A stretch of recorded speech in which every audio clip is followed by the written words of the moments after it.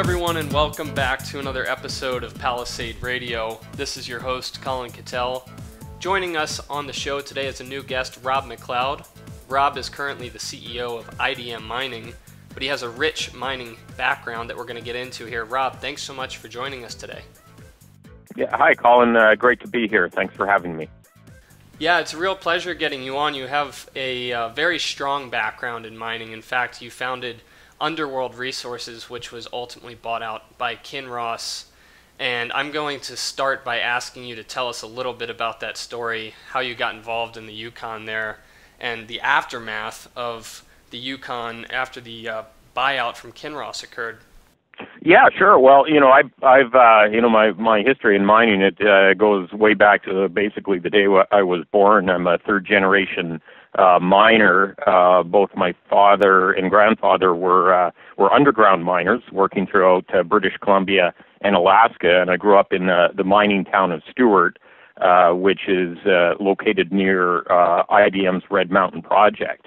And so, you know, I always uh, loved the industry, had a fascination for the the natural world and and for rocks, and uh, knew this was always a career that I I wanted to uh, pursue. And you know, I love being from uh, northern Canada.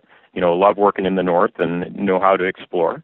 And uh, in um, in 2007, I formed uh, with a couple of partners Underworld Resources, and uh, thought that the Yukon was uh, an ideal place to look for uh, uh, bedrock lode gold, gold sources to the you know abundant placer uh, historically and currently producing uh, placer beds up there. And so in, in 2009, um, we drilled a, uh, a, a large uh, golden soil anomaly. You know, often is, it's a, a preferred exploration tool for us geologists to go and if you can't see any rocks, you go and sample the dirt or sample the overburden and look for anomalies that uh, that lay underneath and our uh, our discovery hole was uh, over uh, 100 meters of three grams per ton gold, and it precipitated uh, in uh, in 09 the the largest staking rush in the Yukon since the Klondike. So it was uh, really fun to be you know part of history. And uh, uh, subsequently, in in the following year, and we already had Kinross as uh, as a shareholder and a great relationship with uh, with that major. Uh, they took over uh, Underworld in in 2010, uh, um, and uh, you know really kind of represented the, the the peak of the excitement that the Yukon Gold Rush, uh, the second Yukon Gold Rush, uh, had. And you know, there's still been some other uh, successes up there, such as uh, ATAC Resources and and uh, uh, Eira Thomas's Kaminak Gold uh, where they're looking to uh, develop a mine basically across the Yukon River from Underworld's and now Kinross's White Gold project.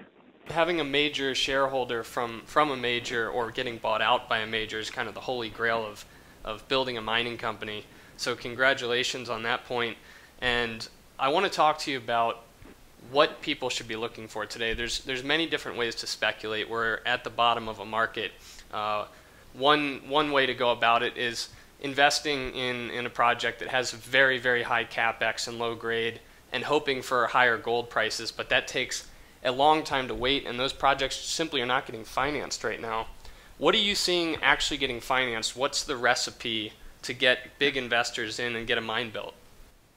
Uh, well, right now, with uh, since uh, the gold prices uh, pulled back from its you know 1800 or 1900 dollar highs and sort of hovering around uh, you know uh, eleven fifty to, to twelve fifty per ounce.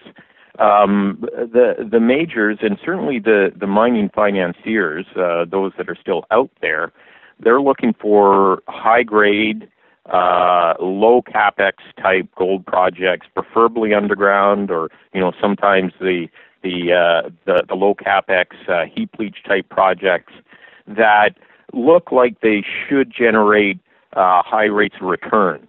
So, uh, you know, companies such as Roxgold or, or Dalradian, um, Integra, uh, you know, some, some of the companies that have been doing, you know, reasonably well in this exceedingly challenging market, you know, that, that's where investors and uh, the, uh, the, the groups that are financing uh, uh, mining and mine development that's what they're looking for. You know, the one of the the, the big uh, kind of mistakes, whether it's the biggest mining companies in the world like Barrick, you know, straight down to the to the smallest junior, you know, everybody focused on at the top of the cycle trying to make as much metal as possible instead of making money.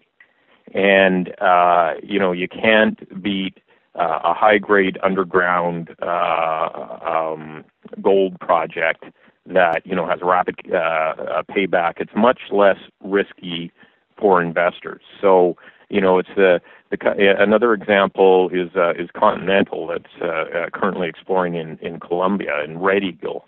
You know, these are uh, projects that look very robust at the current gold price, and you know they're phenomenally leveraged as well to uh, the inevitable increases that we'll see in the precious metal. And Rob, I want to get to a point that you talked about in an article that you wrote for CEO.ca. Uh, it's it's about climate change, and it's not exactly what what somebody would think when they hear the word climate change, but essentially there there has been melting of ice and maybe growing of ice in other parts of the world, but that that is opening up new landscapes and it's actually played into the company. You're running a few other companies that you are aware of. What can you tell our, our audience about how climate change is affecting the mining world? Uh, yeah, it's uh, you know it's really fascinating. You know, I'm I'm a, a geologist, and in in you know in in my science, we we look at you know climate and Earth processes in in long terms, not in you know in ten or thirty year bites. You know, we look in, in thousands and, and mostly millions of years.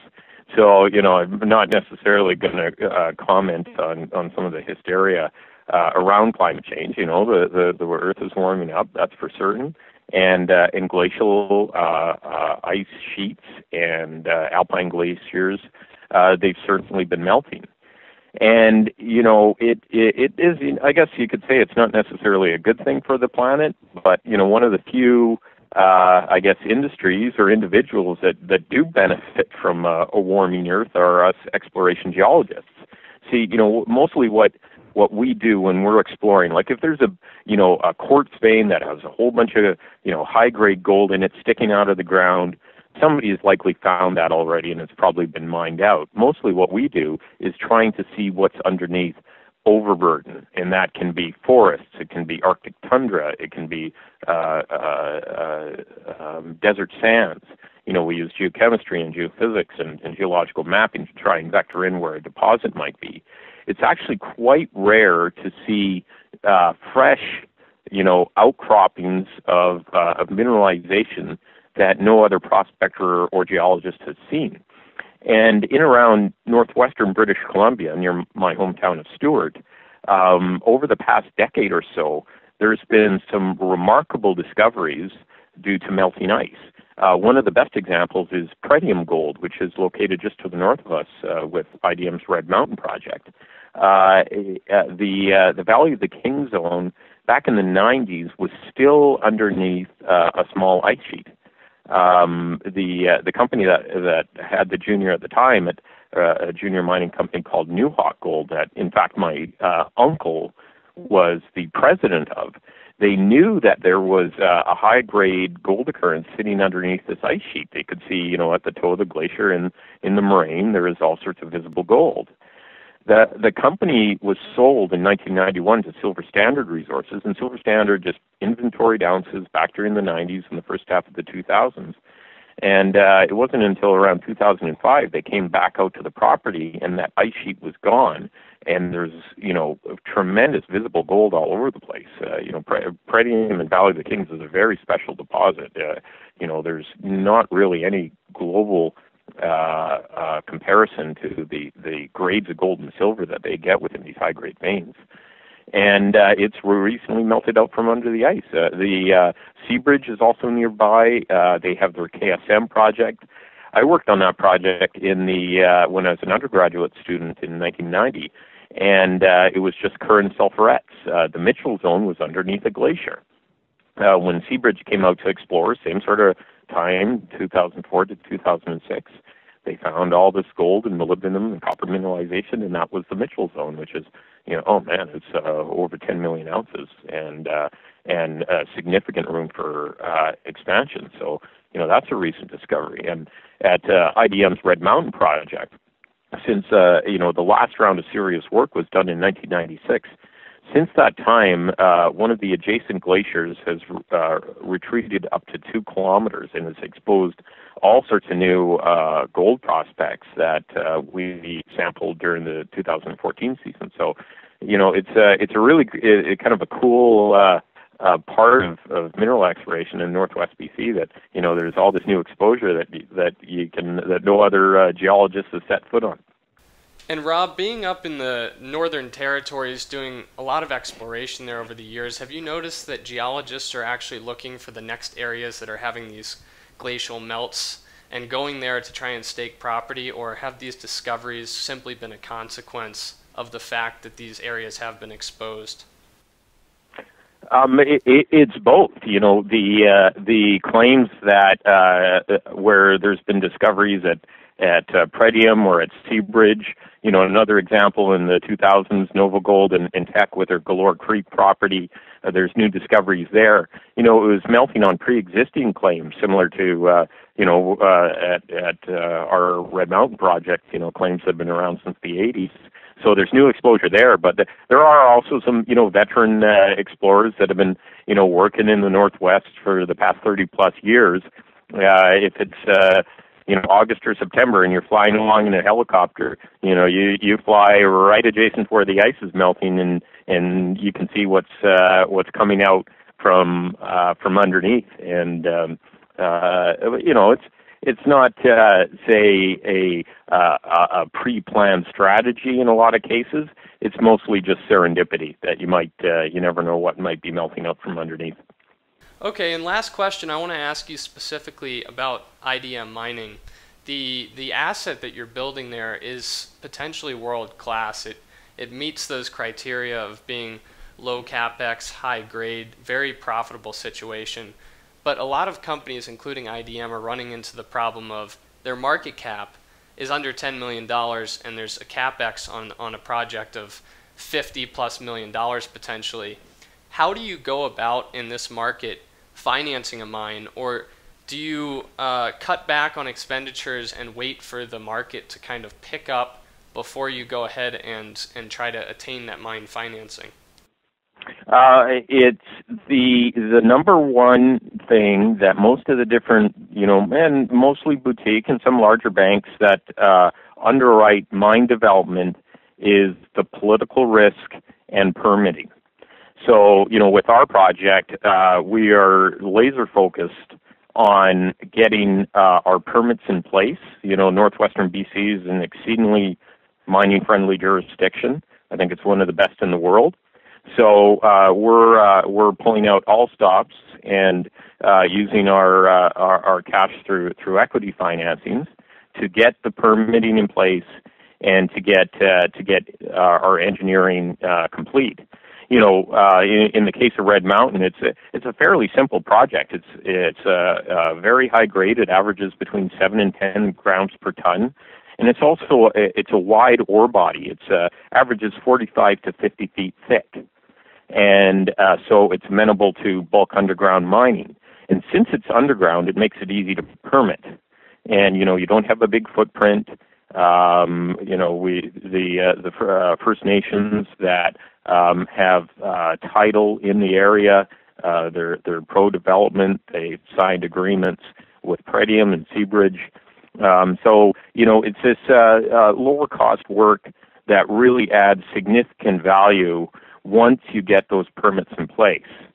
And then, uh, you know, since it ha- our our project has a rapid payback, there's uh, no shortage of options for project finance. We're to, for a thousand ton per day uh, underground mine.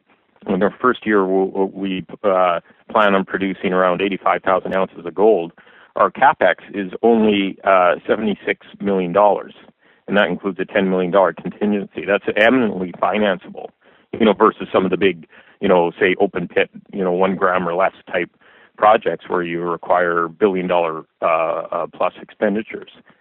Uh, so you know you can get some some reasonable terms, you know through through debt. There's a lot of different groups that do offtake provisions, and uh, um, uh, and also you know there, there's options through royalties or streaming.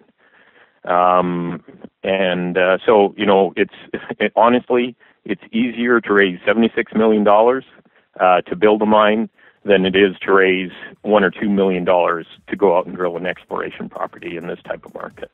All right. Well, on that note, Rob, thanks so much for coming on. Just a note to all of our listeners: you do write occasionally for our friend Tommy Humphreys over at CEO.ca. You've had some very popular articles uh, sharing insight into the market, into the mining space. So I would urge everybody to go take a look at that. Rob, thanks so much for coming on the program. Yeah, thanks a lot for having me, Colin. Think you understand the junior mining sector and you think that the participants in the mining sector, junior mining sector, are good people and kind people, hit the bid. And the world is always going to need raw materials. It's going to need copper and gold and nickel and so forth. Totally destabilized. Hey, hey, troll, did you hear what's going on in Yemen? Are you too stupid?